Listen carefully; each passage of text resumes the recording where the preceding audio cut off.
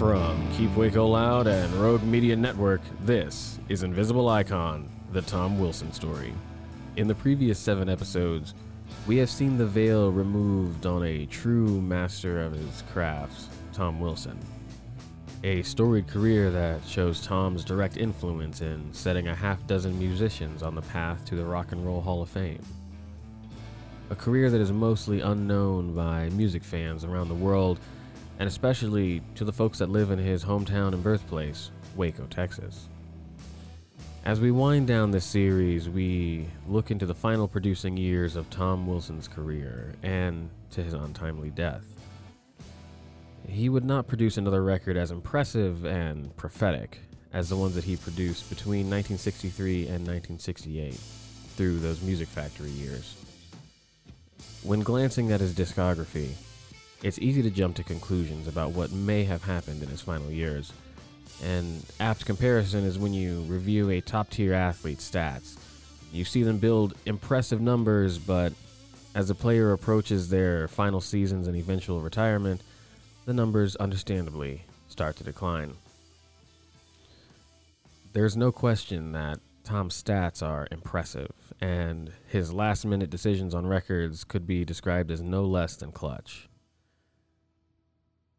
But the decline in numbers is for different reasons than what we normally see in fields like professional sports. At our last check in, we saw Tom in 1968 wrapping up the Velvet Underground's second album, White Light, White Heat.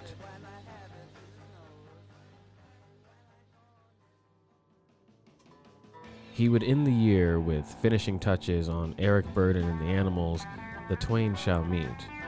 But he would gain a bit of much deserved spotlight with an article in the New York Times magazine penned by Ann Geracimos. The people came and listened.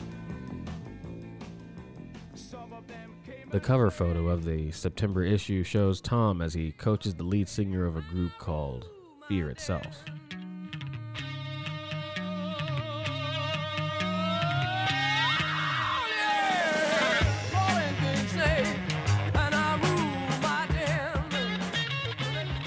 The article is absolutely fascinating.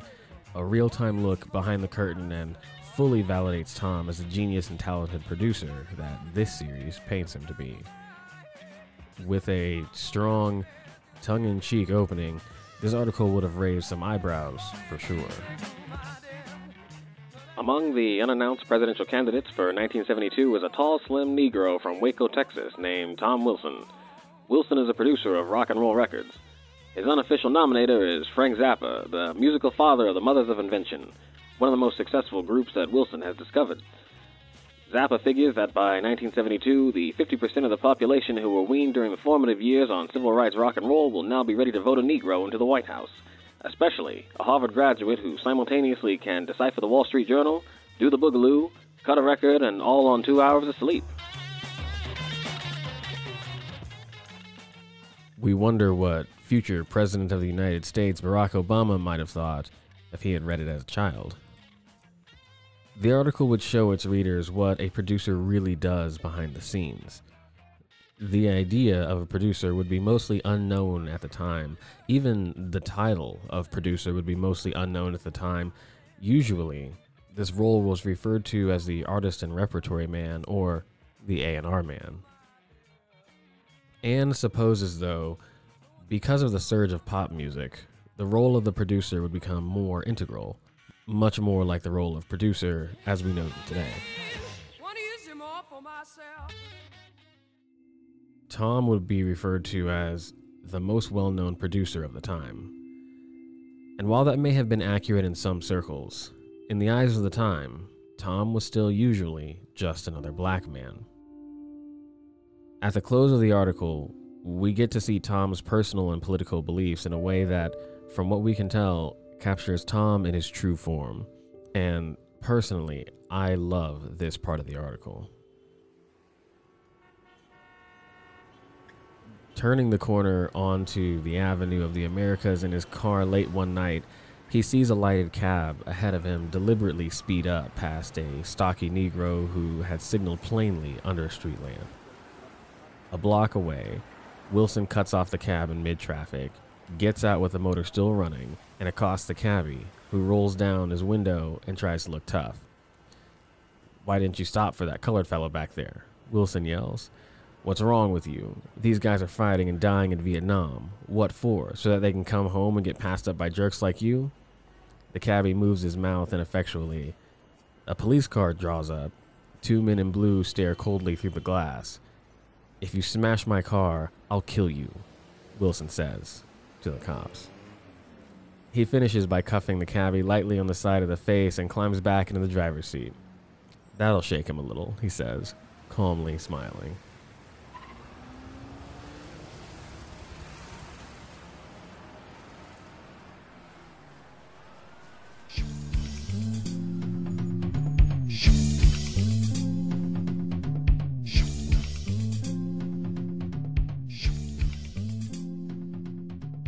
Enter 1969. Richard Milhous Nixon would take his oath as the 37th President of the United States.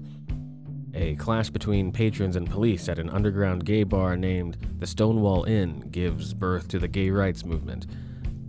And a music festival would take place over three days on an upstate New York farm, capping what would be forever known as the Summer of Love. Over 500,000 hippies, anti war protesters, and counterculture music fans attended Woodstock.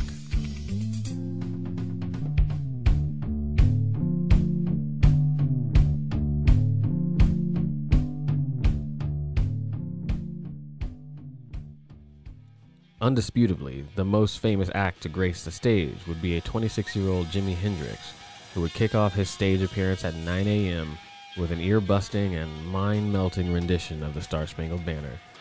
His performance is high on multiple planes.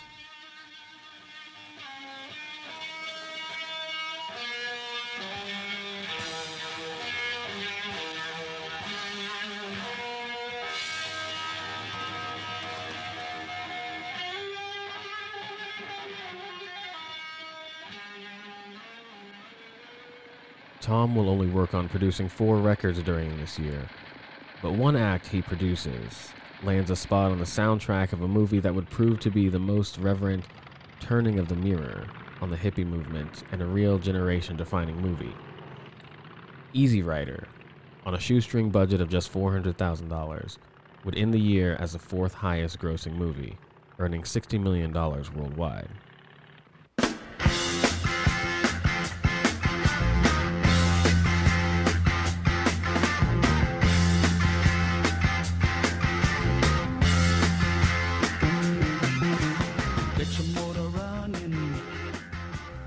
Soundtrack is described by many as groundbreaking, as it included Steppenwolf, the band, Jimi Hendrix, and a tune from a Tom Wilson produced album by the Fraternity of Man. Don't bogart that joint, my friend. Pass it over to me. That familiar light goes off in Tom Wilson's mind when he sees the success of Easy Rider and its soundtrack. Having already worked on a few such projects, this transition to solely working on soundtracks is thought to have started here, according to Tom Wilson III. This could be what really pulled his attention away from cultivating new talent the way he had in the past.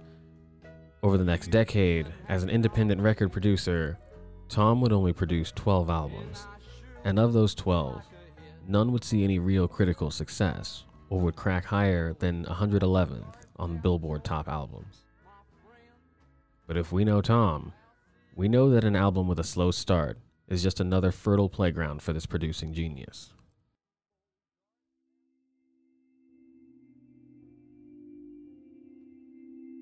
As Tom is attempting to transition to a potentially more fruitful endeavor, his health is beginning to decline by the mid 70s.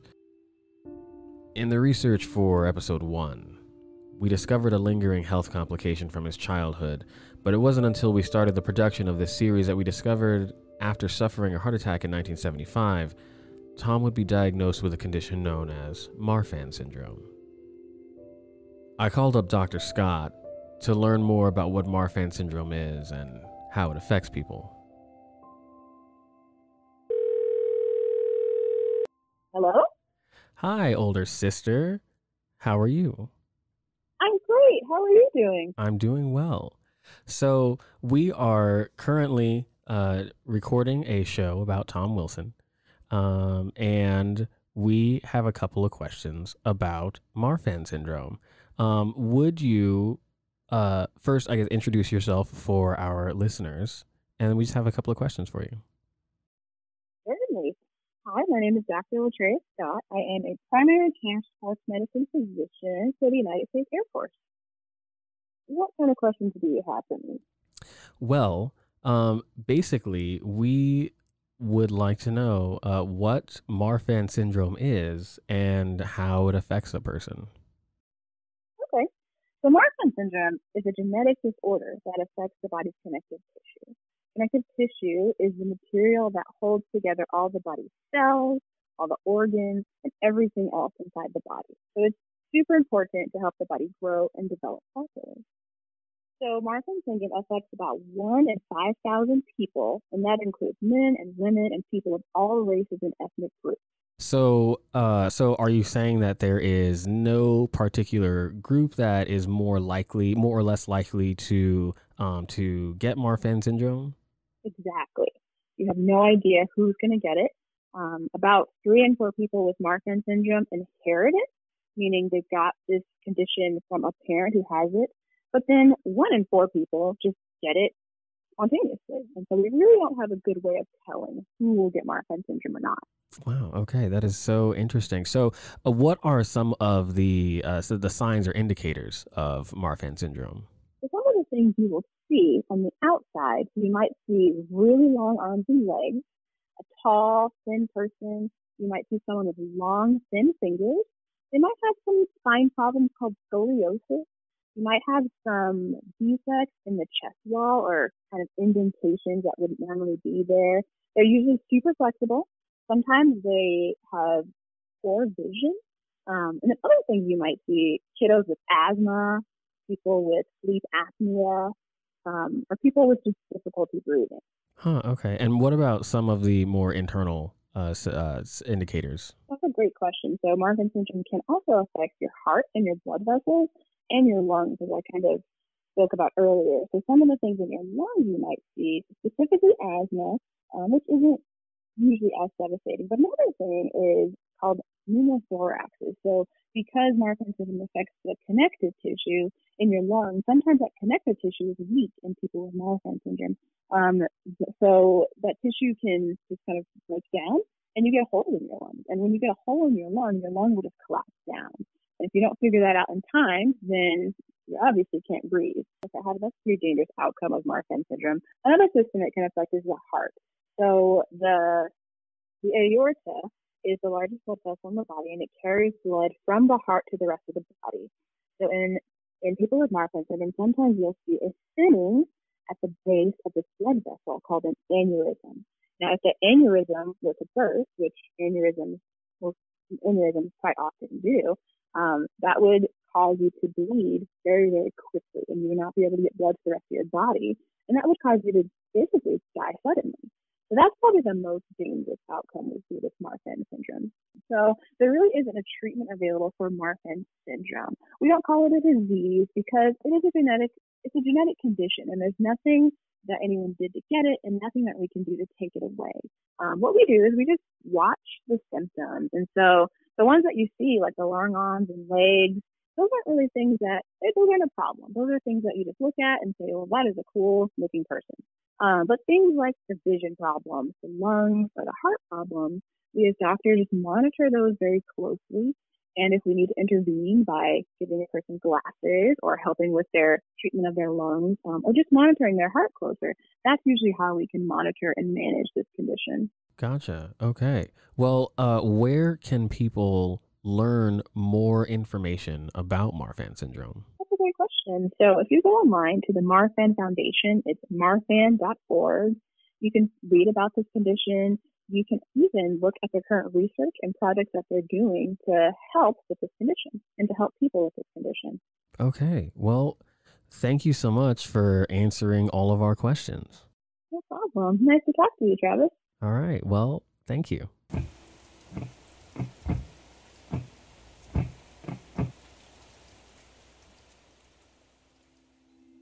Tom Wilson III recounts this period in the previous episode and recalls his father being thankful for the doctors that discovered his illness and that he sounded hopeful of his recovery to full health.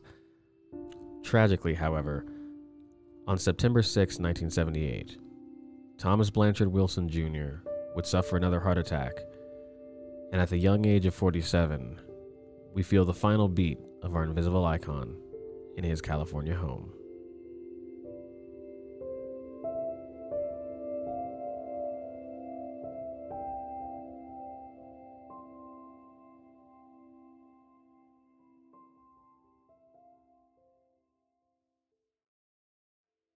But Tom's story continues. We've talked a lot about Tom's successes and the stories behind the stories. But in all this time, one person, and arguably the most important person, has been mostly absent from our retelling of Tom's life. This person never produced a record or wrote a generation defining tune. This person never will appear on an album. However, this person would prove to be a fixed point in Tom's dynamic life. And this person is, of course, Fannie Wilson, Tom's mother. After executive producer Zach Burke's interview with Tom Wilson III, Tom calls us back to give us a more detailed picture of just how important Fannie was to Tom and his accomplishments. And we thought it fitting to end the story of the life of Tom Wilson Jr. by going back to the start.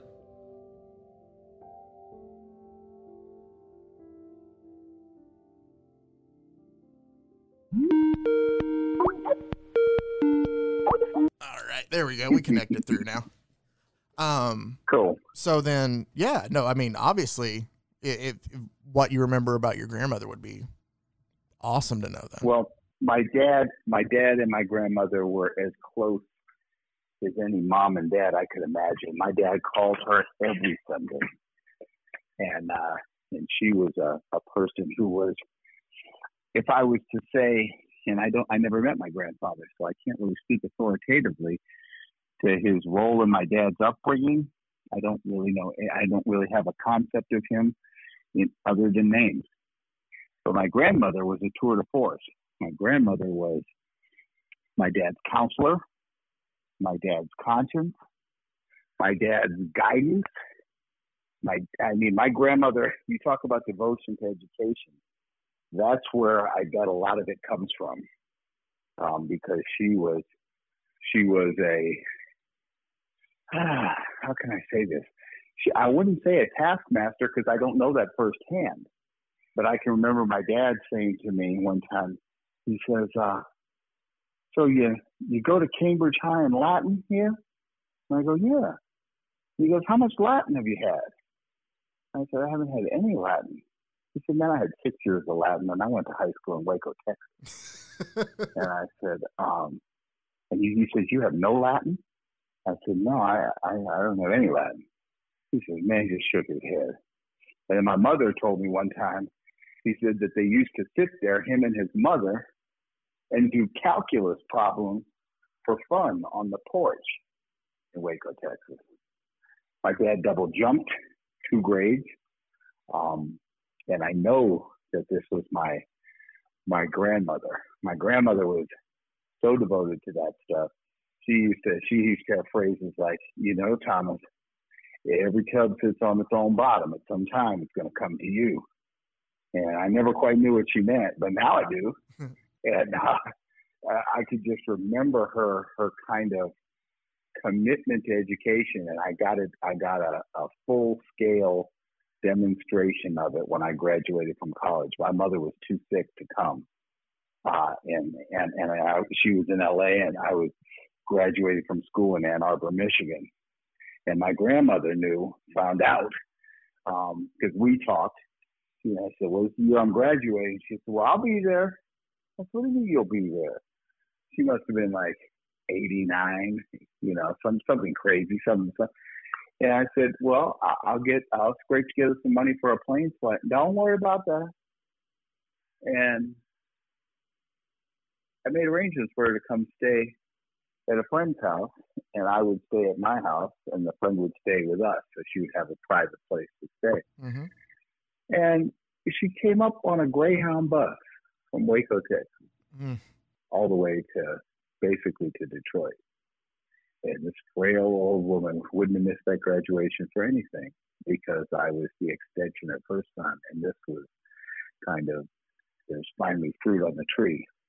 And uh, there was just not a chance she was going to miss it. But just growing up with her, the sincerity, the warmth, the good humor, the articulate way this woman was. This this is also a first. This is also a woman who graduated from college in the 30s. Um, you know, and you, you have to put that in perspective. You got people right now who are struggling with racism and voter suppression and all this stuff. So to have somebody, you know, two generations or a generation and a half removed from slavery, Jim Crow, and all the stuff that was going on with sharecropping, have these type of people graduating from college at that time. This was this was not your ordinary housewife. This was not a librarian by mistake.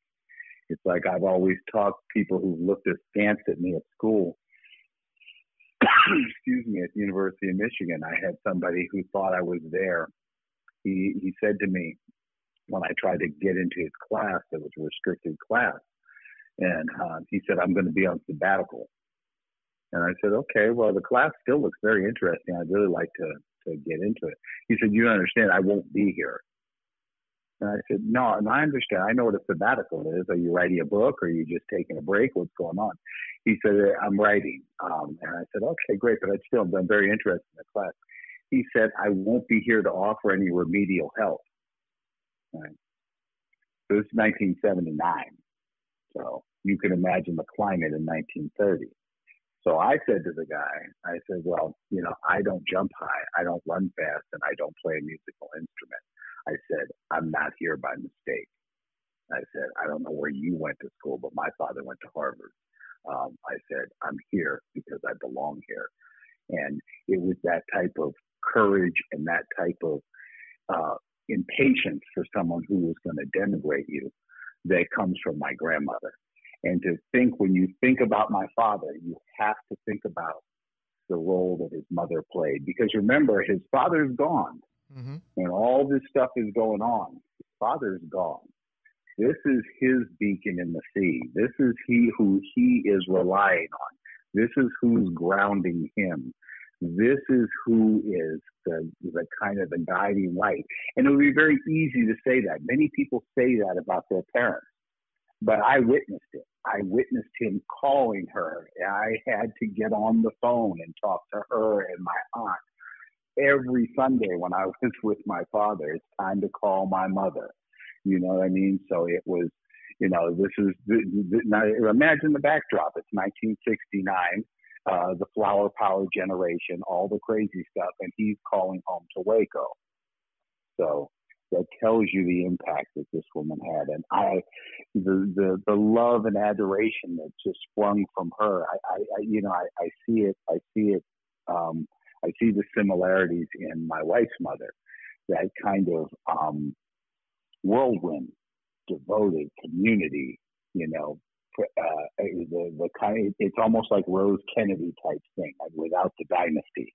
You know what I mean? So um, I, I, I applaud my wife for saying, "Steve, how could you get off the phone without talking about your grandmother? You knew her."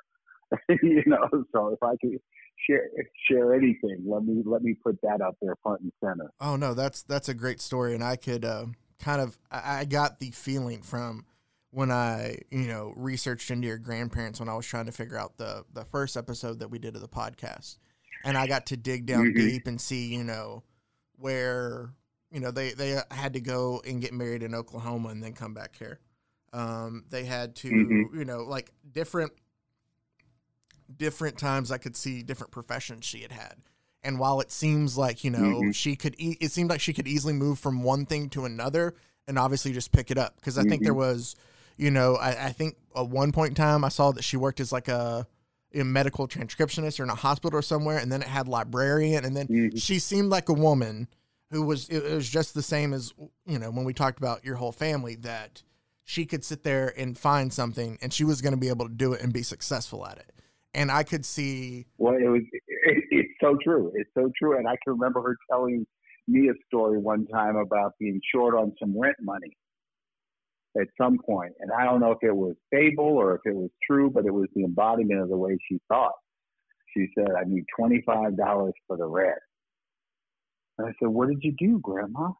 And she said, Somebody out there had my 25 just like that. And then she was just, by hook or crook, she was going to get Oh, it. that's funny. And this is the type of resilience this woman had. She had cataracts, or she had cataracts and couldn't see, Hmm. and yet insisted on shopping for herself. And I said, "Well, how did you do that?" She said, "Well, I counted." I said, "What do you mean you counted?" I knew the paces to the bus stop. I knew the paces to the store, and I helped had some people help me when I got there but I knew my way there, and I wasn't giving up my independence. This is this is where it comes from. Yeah. This is the the the the, the strength of purpose, the determination, the character, and that's why excuses were not real good. And I didn't realize this until I got older. You know, you're you're trotting out your usual excuses, and you're looking at these dead brown eyes from six foot four looking down at you, going, "Brother, you just don't know." um, you know, and so as the as the missed parts, and you realize from whence you came, and that's a phrase my my mother, my deceased mother-in-law used because she was big on that. From whence you came. Um, many many many rows have been hoed for us to harvest here, my son. It's time to get out and pick the harvest. And so it's a uh, I, I, I really was remiss in getting off the phone without without talking about the relationship they had because that is something that I, I wanted to really kind of put a capstone on it, you have to see the context. You have to understand this is an extremely successful guy in a hard charging world, driving a Ferrari, records in the top 10, living in the media capital of the world, and winning with a Harvard degree, calling his mama on Sunday. That tells you something. That tells you about the power of family, the power of the woman, and the commitment he has to both. So that's what I wanted to leave y'all with. Oh no, that's that was absolutely great. I love that. That's on point. Thank old Mike for grabbing that, for not going out for a cheeseburger and being able to grab that board. I'm glad we got that in there. yes, sir. All right, Uh, brothers, enjoy your Sunday. all right, you too. Talk to you later. Hey, thanks now. Bye bye.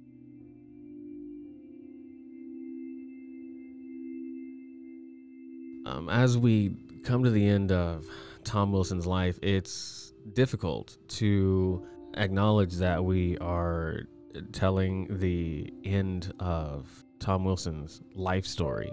But I think we're definitely comforted in knowing that Tom Wilson's life really was just the beginning of Tom Wilson's story. And after listening to this series, our hope is that you know you as a listener would pass along the story to you know anyone that considers themselves a fan of 60s rock and roll or you know music in general or seemingly impossible stories that somehow just keep getting better and better we also hope that if you're the mother or father or mentor of a young person of color that you share this story as an example of what is possible. Uh, when I was first brought into the story, I was shocked at the idea that a black man from Central Texas, born in the 30s, could graduate from, could even attend Harvard, much less graduate from Harvard, and then, you know, move out to California and make his mark as one of the most influential producers in 60s rock and one of the you know defining voices for for the sound of a very critical time in the progression of American music history. The story of Tom Wilson is critically important.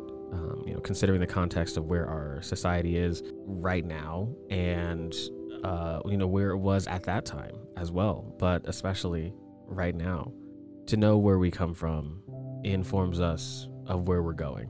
And uh, in the words of Jacob Green, if you don't know what your foundation really is made of, you don't know how strong you are or how strong you can be.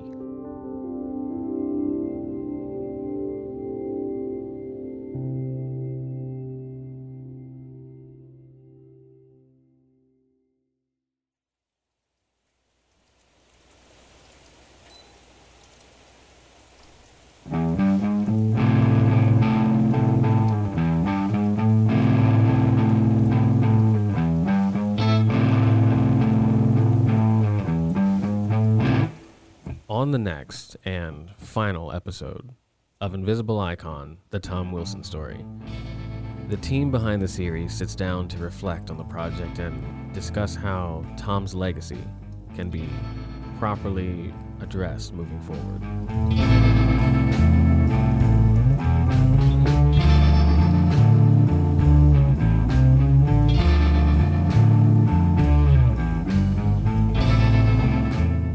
This podcast is produced by Rogue Media Network. Our executive producers are Lindsay Littman, Zach Burke, Jacob Green, and Katie Selman. Our director is Mike Hamilton. Our theme music is by the Bowleys. Join us for the next installment of Invisible Icon, the Tom Wilson story.